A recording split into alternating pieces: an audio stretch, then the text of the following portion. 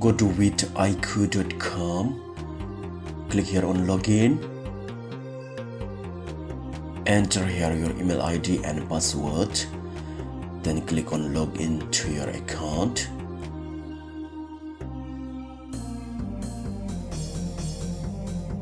Click here on your profile picture. Go to channel settings.